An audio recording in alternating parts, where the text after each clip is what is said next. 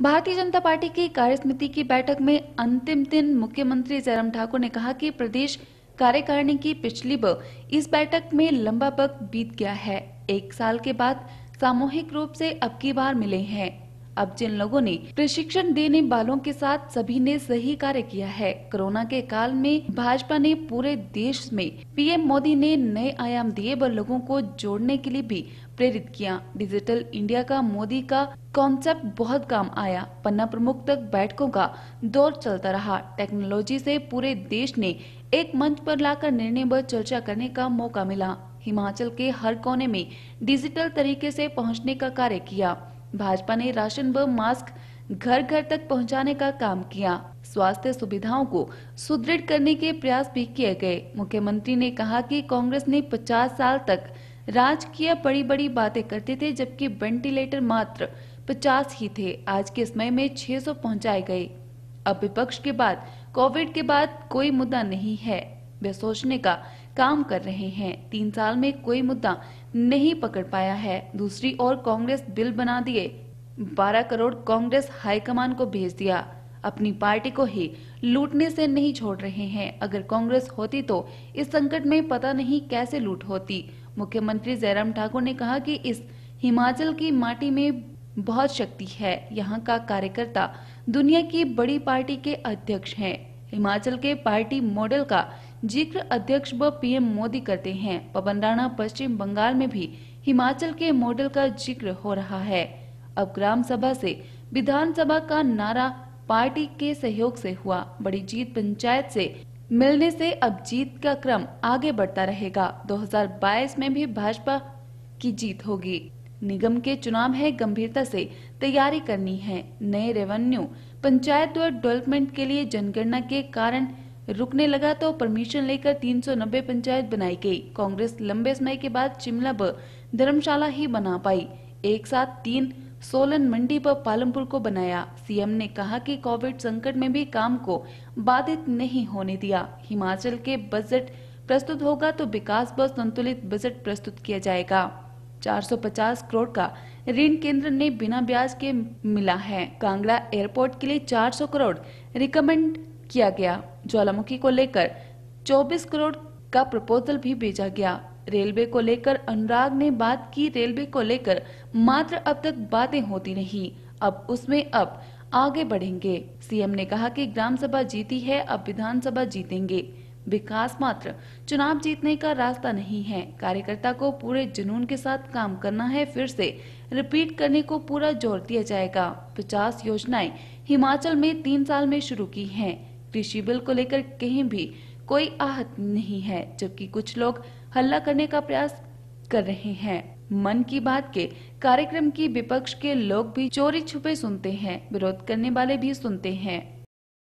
Covid के चलते पिछले लगभग एक साल से हमारी कार्य समिति की बैठक इस प्रकार से नहीं हो पाई। वर्चुअली हुई, लेकिन एक्चुअली जिस प्रकार से मिलकर के कार्य समिति की जाती थी उस तरह से ये पहली बैठक है और स्वाभाविक रूप से कार्यकर्ताओं में उत्साह है, पंचायत के चुनाव में बहुत शानदार जीत हासिल की है हिमाचल प्रदेश में और ये जीत का क्रम लगातार लोकसभा के चुनाव, उसके बाद उपचुनाव, उसके बाद पंचायत के चुनाव के बाद जो है, स्वाभाविक रूप से हमारे पार्टी के संगठन को, पार्टी के कैडर को एक बहुत बड़ी ताकत देता है।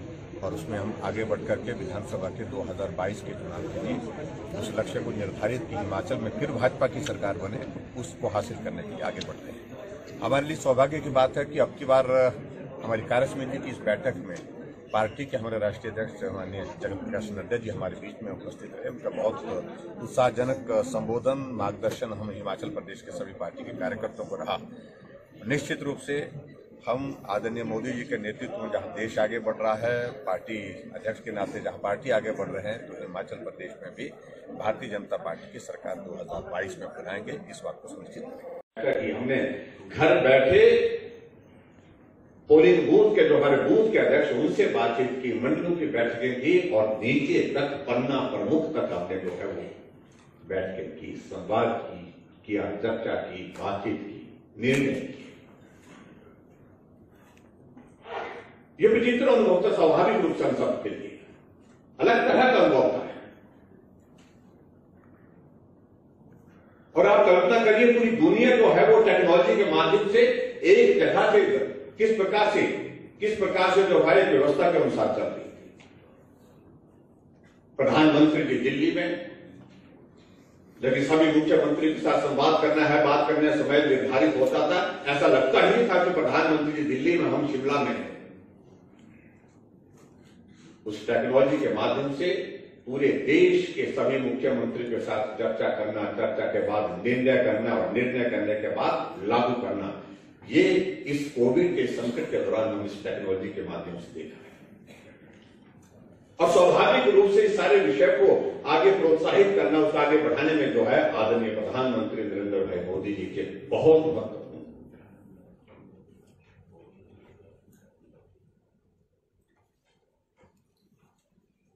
हमने सरकार में भी अपने अधिकारी को कहा। कि अगर हमारे देश के प्रधानमंत्री अगर बूथ के कार्यकर्ता से भी अगर संवाद करना चाहे, संपर्क करना चाहे तो वो टेक्नोलॉजी पार्टी के अंदर हमारे संगठन की व्यवस्था के अनुसार जो है, आदरणीय प्रधानमंत्री नरेंद्र भाई मोदी जी ने पार्टी के पूर्व में अध्यक्ष अमित शाह जी ने और वर्तमान में हमारी पार्टी के अध्यक्ष जगत प्रकाश नड्डा जी ने विकसित की है। प्रधानमंत्री या पार्टी के हमारे राष्ट्रीय अध्यक्ष अगर नीचे के पन्ना प्रमुख से भी संवाद करना चाहे तो टेक्नोलॉजी के माध्यम से, पोलिंग बूथ के अध्यक्ष से संवाद करना चाहे तो टेक्नोलॉजी के माध्यम से वो भी संभव है।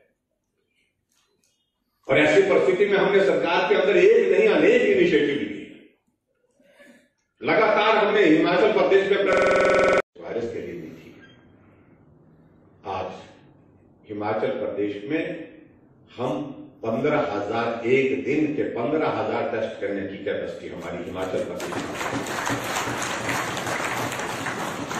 इस वायरस से मालूम पड़ा कि पीपी किट जो है वो चाहिए। डॉक्टर ने कहा कि हम इलाज करने के लिए तो जाना चाहते हैं, लेकिन उसके बाद वो पीपी किट लाजमी है, उसके बिना नहीं जाएँगे।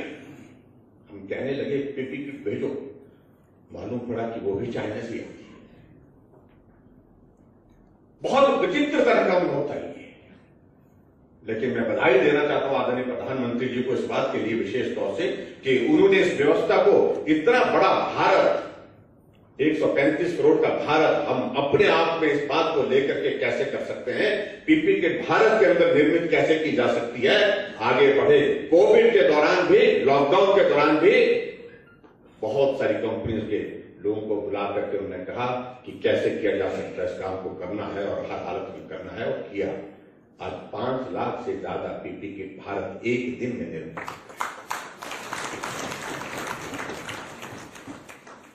वेंटिलेटर की अगर बात आती है, वेंटिलेटर का, वेंटिलेटर जिससे बचाने के लिए ज़रूरी है, वो भी कहाँ से? भारत में नहीं।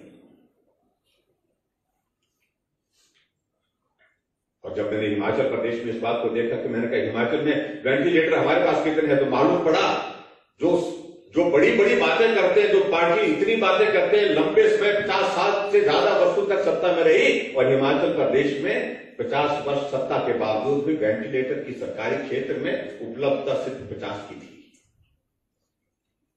और आज आज हिमाचल प्रदेश में हमारे पास वेंटिलेटर 600 से ज़्यादा है सिक्स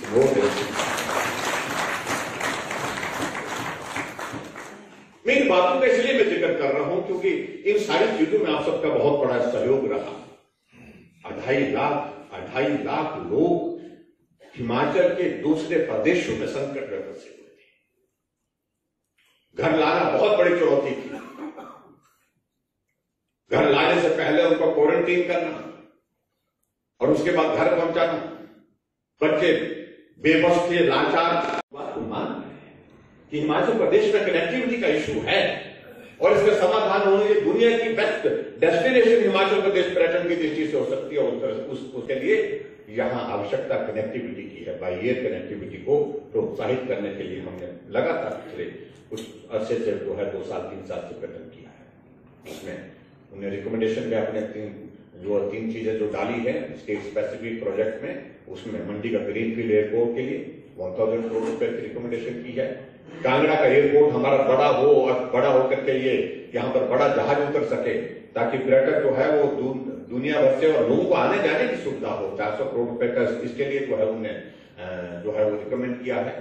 और उसके साथ साथ में हमारे ज्वाला जी मंदिर के लिए जो भी जोशी ज़िले के अंतर्गत आता है तो बीस करोड़ रुपए उसके लिए किया और मेरा भाई अनुराग ठाकुर जी से इस बात के लिए निवेदन है क्योंकि अभी वो रिकमेंडेशन हैं अभी तक वो रुकी हुई है। आने वाले समय में with the passage of time मैं उम्मीद करता हूँ कि वो उनको आगे बढ़ा करके हम जो है, जो स्टेट के लिए जो फाइनेंस कमीशन की जो रिकमेंडेशन हैं, उनको हम पूरा करें। मिलकर के हम भी पक्ष रखेंगे, अपनी बात रखेंगे और आप भी, क्योंकि आपके पास ये महकमा है, स्वाभाविक रूप से उसमें हम सफल होंगे ताकि हिमाचल प्रदेश विकास की राह पर आगे बढ़े।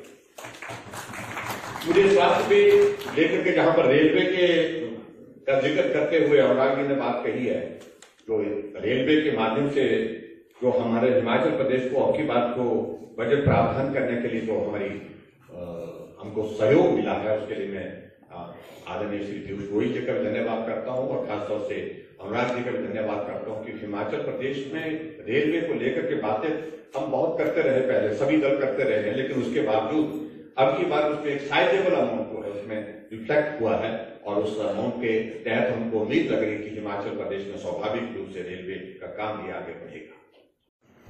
हिमाचल प्रदेश को पूर्ण राजत्व के 50 वर्षों के कार्यक्रम हैं स्वरूप आपके सामने हमने प्रस्तुत कर दिया, पिछले कल उसके बारे में बातचीत हुई है।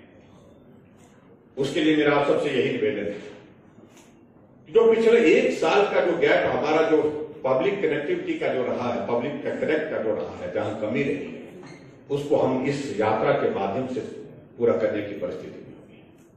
और ये भी मैं कहना चाहता हूँ कि ये स्वाभाविक रूप से जिस प्रकार से हमने तय किया है, जिस प्रकार से हमने कहा है कि ये 50 साल जो है स्वर्णिम हिमाचल प्रदेश के राजत्व पूर्ण राजत्व के, ये हिमाचल प्रदेश के लोगों को समर्पित होंगे क्योंकि किसी ने मजदूर ने भी अगर मेहनत की है, उसका भी इस हिमाचल के निर्माण में योगदान है। किसी इंजीनियर ने काम किया है उसका भी हिमाचल प्रदेश के उसका, उसका भी योगदान ये उनके लिए समर्पित एक सैनिक ने देश की रक्षा के लिए अपनी जान निछावर कर दी कुर्बानी दी शहादत दे दी उसका भी इस हिमाचल प्रदेश के 50 साल के सफ़र में इस हिमाचल को यहाँ पहुँचाने में गौरवान्वित करने में जो है उसका भी योगदान है। एक डॉक्टर का किसी की जीवन बचाने में जिसने अपनी जीवन जीवन लगा दिया उसकी एक है इसलिए हिमाचल प्रदेश के हर नागरिक को हमने ये समर्पित करना है, ये पचास साल हिमाचल की जनता के लिए समर्पित, क्योंकि उनके परिश्रम, उनके मेहनत, उनके सहयोग, उनके समर्थन से हम हिमाचल प्रदेश को 50 सालों के सफ़र में एक मुकाम तक यहाँ तक पहुँचा पाए और उसके साथ आगे बढ़कर के हमको काम करने की जो ज़रूरत है वो ये है कि आने वाले समय में हिमाचल की परिकल्पना हमारी 50 वर्षों की क्या है? वो भी एक डॉक्यूमेंट बना करके एक डॉक्यूमेंटेशन हम करेंगे। फिफ्टी वन जो हमारे कार्यक्रम जो हमने हिमाचल प्रदेश में हमने तय किए हैं उसकी बहुत जल्दी धीरे धीरे हम उसके जो स्वरूप और उसके कार्यक्रम की तारीखें निर्धारित करके सूचित कर, कर, कर लेंगे। लेकिन मेरा आप सबसे इस बात की निवेदन है सरकार का कार्यक्रम है लेकिन संगठन का इसमें पूरा सहयोग चाहिए। तभी जाकर के संभव हो पाएगा तभी जाकर के इस कार्यक्रम को प्रभावी ढंग से लोगों तक पहुँचाने में कामयाब होंगे आप सब इस काम को करेंगे।